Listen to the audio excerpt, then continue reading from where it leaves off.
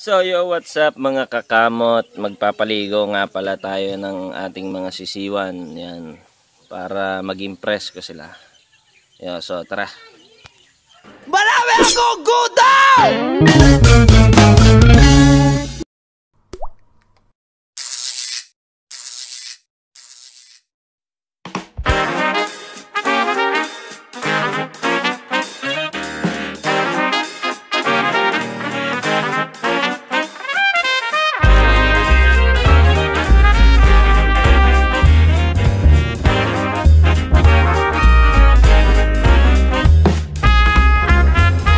So ayun, tapos na tayo magpaligo. Ayan, tingnan natin sila.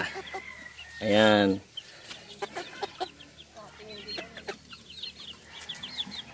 Ayan. Ayan, kaya kailangan nagliligo. Siyempre, ano na sila, 2 months old. Kumbaga, para maging presko. Kasi tagal din nilang hindi gasino na ano ang katawan nila. Para din maging balance yung temperature. Yun yung sa akin palagay. Ayan.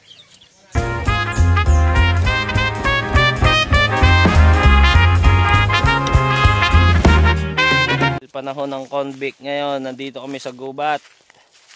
Kaya kukuha ng sansalida yan. Buti may gubat dito sa Laguna.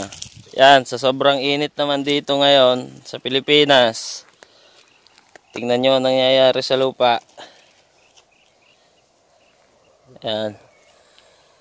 Napakainit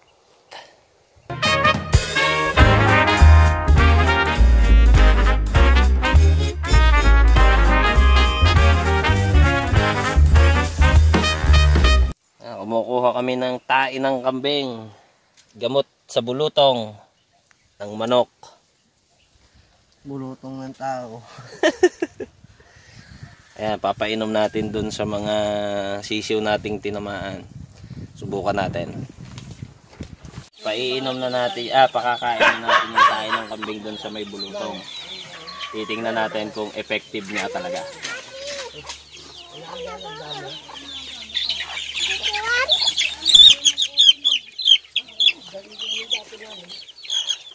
Ayan o, tignan nyo. Ayan yung bulutong.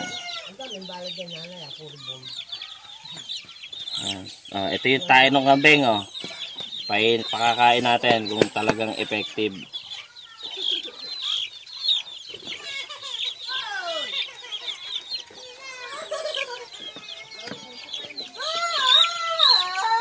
Gagawin natin dalawa kasi damo lang naman yon.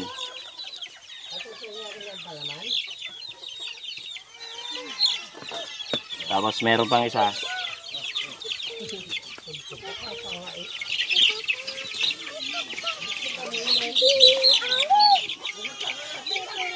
Oh, ito, ayan o. Kita? So, ayan o. Ito yung mga anak ng moonwalker. Ito, parang, ayan, pasyakak. Sigurado, tandang to. Kasi ayan, nangingitim na. Okay, inumin din natin ng dalawa.